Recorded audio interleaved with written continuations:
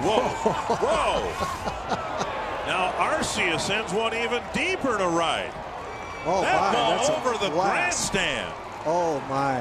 Oswaldo Arcia hit it out of the grandstand onto the concourse behind the right field seats. Now, there are home runs, and then there are bombs. That was a bomb.